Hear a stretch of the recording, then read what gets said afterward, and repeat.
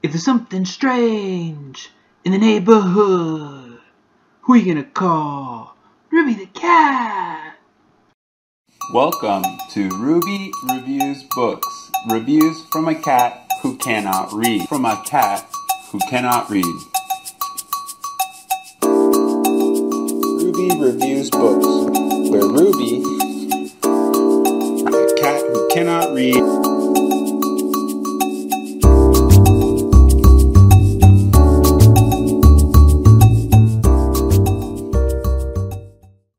Welcome to Ruby Reviews Books, reviews from a cat who cannot read. She may not understand the words, but she sure likes books. Today's book is Ghostland An American History in Haunted Places by Colin Dickey. This unconventional history of the United States uses ghost stories to explore how Americans conceptualize and internalize our history. Framing each spooky tale as an investigation of place, Dickey starts first with the quintessential haunted house before moving on to businesses, public places, and finally entire cities and towns themselves.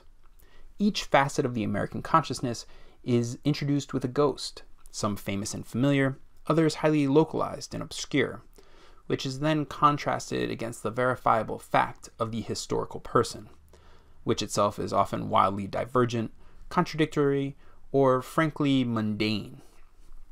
But the focus of each chapter is not the skeptic's revision to haunted history, but on the contrast between death as it happened and the stories we tell ourselves about haunted places.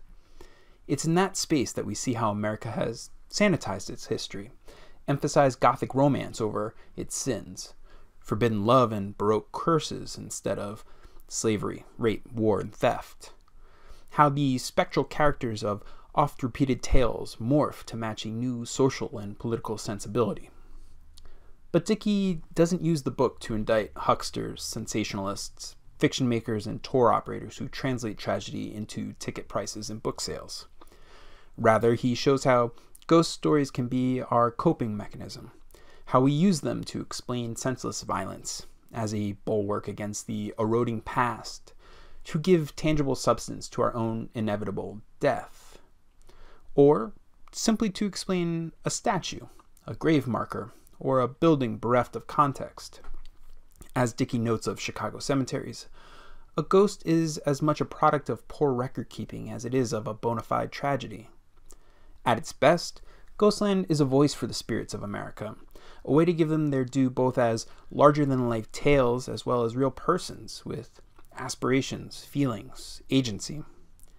At its worst, the book reminds me of a ghost tour I once went on, co run by two operators. The first was there to tell us lurid tales of restless spirits and forlorn lovers, of cold spots and EVPs, creaking stairs without footfall, and doors that opened and closed on their own. The second, representing the building's ownership, let's call her Teresa, stepped on every claim with an explanation of a child who was only a few months old when her lover supposedly died, or of a murder that never happened, or how sinking foundations and the way moisture pools can have uncanny effects in old houses. It's not that Teresa was wrong, or even cruelly dismissive of people's desire for phantoms and ghouls. It's just that she's not the friend you'd invite on a ghost tour. As a book about who we are as a country, what we've done, what we've become, and how we reconcile the demons of our past with the better angels of our aspirations, Ghostland is a phenomenal commentary on American spirits.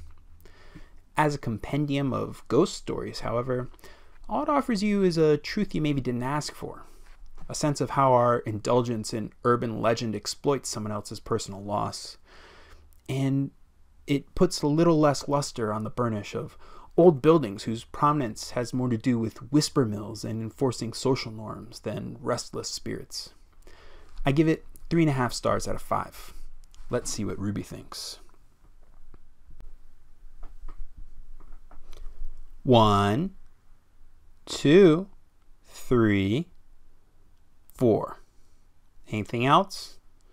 Nope. Well, there you have it. Ghostland by Colin Dickey, rated three and a half stars and four rubs.